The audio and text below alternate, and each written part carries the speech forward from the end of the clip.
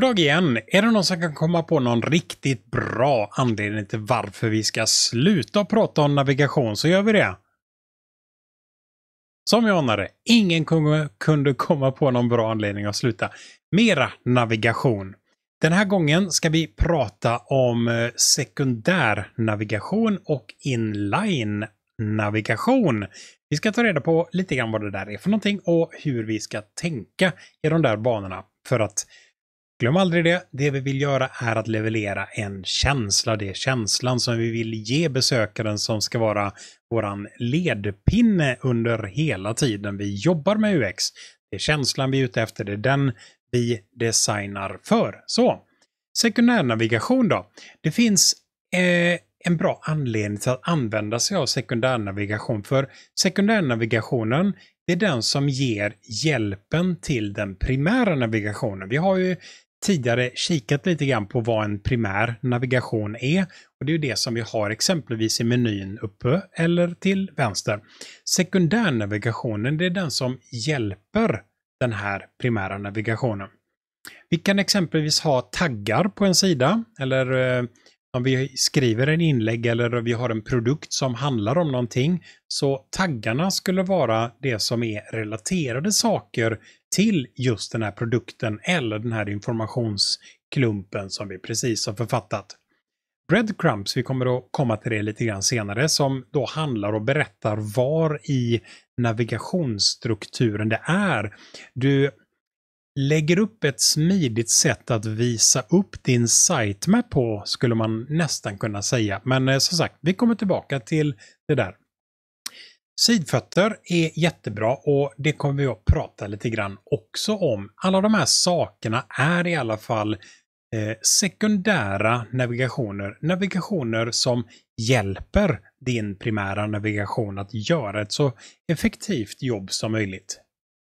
Om vi pratar Wordpress, exempelvis Wordpress i alla fall, så ger Wordpress oss möjligheterna att kunna skapa kategorier. Kategorier är någonting som vi använder för att grovsortera upp våran primära information i. Så utifrån våra primära ämnen, vad det nu handlar om så att säga, så kan vi då skapa oss olika kategorier. Utöver kategorier så har vi ju dessutom taggar och taggar är snarare mindre informationsklumpar som vi kan ge på våra ämnen.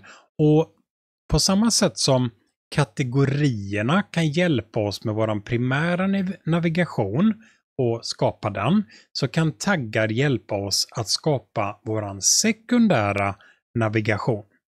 Så taggarna hjälper till att hantera den här sekundära ämnena som vi har. Massvis med taggar samlade kan då ge oss, jag vill inte använda ordet kategori, men jag hoppas att ni är med i alla fall, att eh, taggarna kan ge oss information om sekundära ämnen. Ämnen som kanske inte är så primära att vi har med dem i en huvudmeny, men i alla fall så pass vanliga att vi kan tänka oss att ha med dem i alla fall, så att säga, i en sekundär miljö. Taggar är jättebra. Taggar kan vi använda för att länka innehåll över kategorier som ni vet så ofta har vi ju si och så många olika kategorier på en sida och för att kunna göra gap mellan kategorierna, för eh, kategorier har ju lite tendensen att bli lite grann som stuprör ner och vi använder taggar för att knyta ihop de här stuprören lite grann. Så just taggar har en ganska viktig funktion att fylla i, inom eh, inom UX-design helt enkelt. Vi kan använda taggar för att skapa index över sida och framför allt den viktigaste saken vi kan använda taggar till är att hjälpa användaren att hitta någonting som användaren inte visste att den letade efter. Så med hjälp av taggar så kan vi då ge relaterad information och den här relaterade informationen kanske är precis det som besökaren väljer att sikta på i slutändan. Ni vet den här eh, Eh, folk som sökte på den här produkten sökte även på de här fyra produkterna. Det där är ett typexempel på hur vi kan använda bra UX med hjälp av taggar för att ge användaren hjälp. Låt oss säga att en användare har hittat ett grafikkort som man definitivt vill ha. Men så ger vi lite exempel på andra grafikkort som man också är relaterar till i den här kategorin. Och då kanske vi kan sälja ett grafikkort som är en tusenlapp dyrare, vad vet jag. Sådär. Eh, sekundär navigation är det vi handlar om och eh, just nu tänkte jag vi skulle ta och prata lite grann om breadcrumbs. Breadcrumbs är den typen av navigation som oftast hittas under den primära horisontella menyn långt upp på sidan till vänster. Det brukar stå någonting i stil med Du är här. Recept. Eh, brödrecept. Glutenfria brödrecept. Och veckans varor exempelvis. Det där är ett klockrent exempel på när vi använder oss av breadcrumbs som sekundär navigation. Eh, på bilden som vi har framför oss här så ser vi ett litet exempel på hur man skulle kunna tänka sig att en sån här sekundärnavigation i form av en breadcrumb skulle kunna tänkas se ut. Så breadcrumbs är väldigt, väldigt bra att använda sig av. För breadcrumbs har den möjligheten att de berättar för användaren var de är någonstans. Och det berättar dessutom vad som finns runt omkring dem. Det ger en trygghet till besökaren som är ganska viktig att använda sig av faktiskt. Så Breadcrumbs är väldigt bra grejer. Det är en typ av navigering som ger dig en sitemap mer eller mindre och berättar var i världen, eller rättare sagt var i navigationsstrukturen är du för tillfället.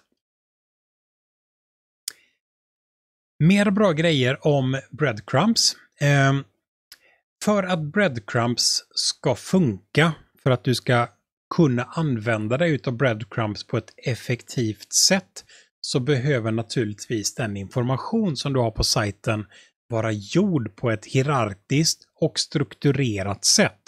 Om du har en dålig struktur på din sajt och du inte har byggt upp den så vidare hierarkiskt, då kommer ju inte breadcrumbs att hjälpa dig. Då kan det snarare bli värre om du använder breadcrumbs. Men så länge du har hierarkisk och välstrukturerad information så hjälper breadcrumbs till jättemycket för att hjälpa användaren att hitta det som användaren faktiskt var ute efter. Jag tänkte vi skulle ta och prata lite grann om eh, sekundär navigation också. Sekundär navigation, om i det här fallet så tänkte jag vi skulle ta och prata om sidfötter, för det finns ju många varianter av sekundär navigation. Vi har gått igenom flera stycken och jag tycker att tiden har kommit fram till sekundär navigation i form av footers. Eh, footers för eh, åtta år sedan var ganska små saker. De var ungefär på en desktopskärm två centimeter höga och det fanns oftast en mejladress och eh, namnet på företaget man besökte. Det fanns i princip ingenting i Footers. Sen exploderade det och eh, Footers blev en plats där du nästan hittar den primära navigationen. Eh, Footers har växt och för varje år som går så blir Footers större och större. Nu får jag hoppas att det börjar mattas av lite grann för snart är hela sidan en footer. Men footers är jätteviktiga i alla fall. Footers är en bra plats där du kan placera väldigt mycket metadata om en sajt. Jag tänkte vi skulle ta och kika på några exempel på lite footers. Battle.net har en footer som ser ut på det här sättet. Eh, det finns eh, länkar till deras vanligaste spel och sedan så under den här finns själva, vad ska man säga, det som vi tänker oss som en footer. Eh, den här delen med länkarna till spelet är också en del av foten. Annars så ser vi huvudfoten så att säga i mängden artiklar eller mängden länkar som vi har där nere. allt det här ryms inom foten och som ni ser så de flesta av de här sakerna är ju rena navigationssaker. Eh, Battle.net Home och där finns massvis med saker. Vi har helt enkelt skapat oss en mega dropdown här. Jag ska inte säga vi, det är faktiskt någon annan som har gjort det. Men vi har mer eller mindre en mega dropdown-meny som är placerad i foten på sidan. Vi tar en eh, foter till tycker jag.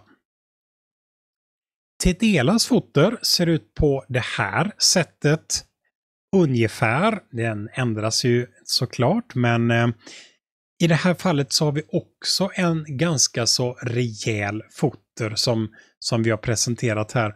Så i foten så kan du hitta väldigt mycket metadata om sidan och väldigt mycket information som rör sidan hittar du just i foten. Inline-navigation tänkte jag vi skulle ta och prata ett litet ögonblick om också. Och inline-navigation är ju navigation som finns någonstans ihop med innehållet på en sida. Jag tror det blir tydligare om vi tar ett par exempel på det där. Här har vi Apple.com-sidan som den såg ut i alla fall när jag screenshotade den. Eh, vi har våran eh, primära navigation upp till. Här är en horisontell och statisk navigationslist upp till. Och vi har här naturligtvis använt oss av en del inline-navigation också. Produkten för dagen är den där telefonen exempelvis och ihop med den där telefonen så har vi läs mer-länkar och köplänkar, det vill säga vi har gjort det enkelt för folk att kunna läsa om produkten och köpa produkten på, på, på ett in, inline-sätt. Alltså vi har en navigation inline som hör till själva produkten. Vi tar lite mer exempel. På Microsoft.com så har vi även här använt oss av en hel del olika inline-navigationer. Även på det här exemplet så har vi en eh, statisk meny, horisontell, den ligger upp till.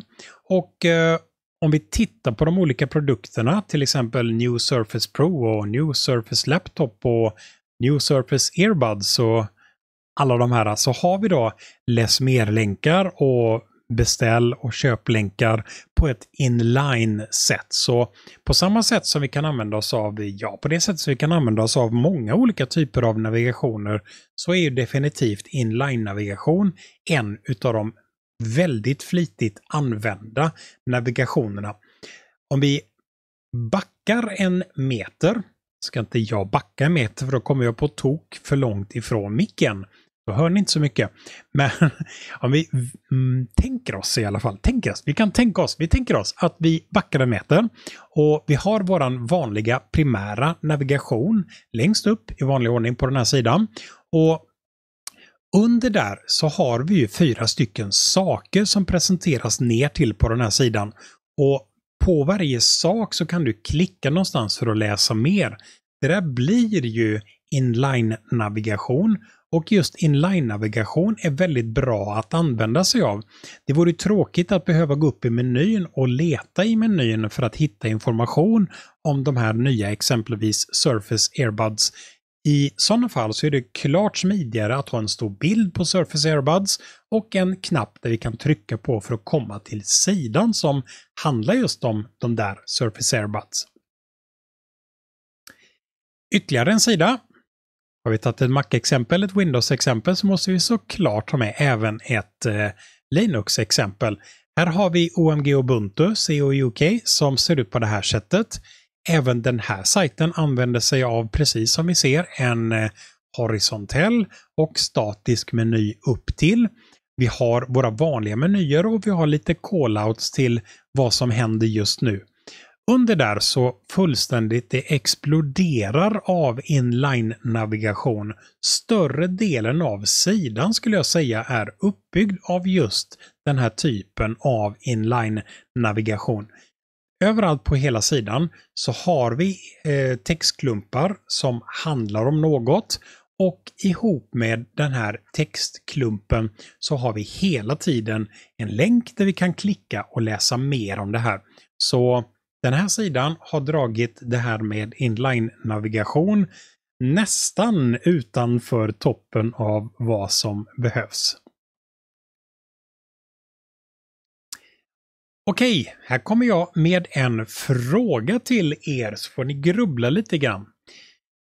Vi har gått igenom några olika varianter av navigation. Min fråga är, vilken typ av navigation använder vi mest? Är det den primära navigationen, den sekundära eller inline-navigation? Grubbla lite på den. Vilken sorts navigation använder vi oftast tror ni? Hur många har gissat på C? Inline-navigationen är den absolut vanligaste varianten av navigation som vi använder oss av. Vi älskar att klicka på saker och ting som ligger nära där vi är. Så inline-navigation har blivit den absolut vanligaste sortens navigation som vi använder oss av. När vi är på en sida så har vi ju primärnavigation i form av menyer, antingen horisontella eller vertikala såklart. Eh, de använder vi en del. Vi har sekundära navigationer i form av sidfötter och eh, relaterad information och så vidare. Men framför allt skulle jag säga så har vi inline-navigation. Navigation som egentligen inte är navigation utan mer insprängd i texten i övrigt på något sätt. Inline-navigationen är jätteviktig att tänka på. Mycket på grund av att det är den typ av navigation som vi använder mest faktiskt. Så glöm inte av att eh, hålla koll på er inline-navigation för uppenbarligen, där finns grejerna som folk gillar att klicka på. Vi tar och eh, fortsätter med eh, ännu mera UX om en liten stund. Hej så länge!